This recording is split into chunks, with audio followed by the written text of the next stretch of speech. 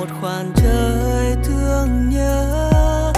Cảm giác bình yên từng phút, từng giây, nhẹ nhàng như áng mây trôi. Vẽ nên bao câu chuyện, tình yêu mới của một anh chàng ngờ. Vết thương sâu âm thầm, cũng chỉ là vài lần ta chạm vào nhau thôi. Mà sau này anh mới nhận ra tình ta như loài hoa.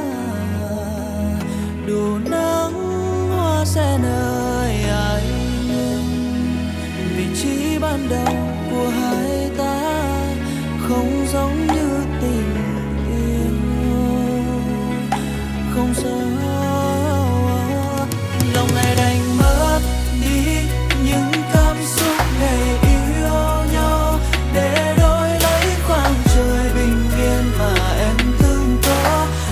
phương xa mình anh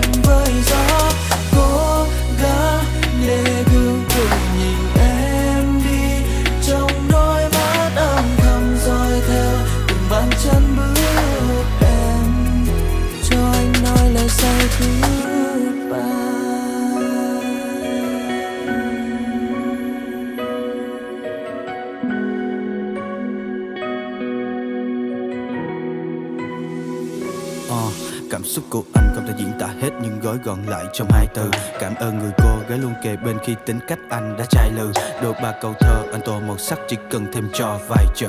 Hiện về bức tranh trong thơ đậm vị ngọt ngào không cần hai ngữ. Từ trước đến nay anh chưa từng tin vào câu chuyện tình phàm duyên. Cứ ngỡ đi lạc và cảnh trong phim tự mình tìm được hàng huyên. Vượt xa đối cảnh tuy nhiên không không có có khó lòng người chuyên. Một người mười ý, lý luận bình yên, luyên thuyên một đời lời khuyên. Từ chặng đường dài ta đã đi qua. Một thời kỷ niệm giờ cũng mãi trôi xa em. Hãy sống cho hiện tại, hãy nghĩ cho tương lai. Anh một lời cảm ơn, một lời xin lỗi.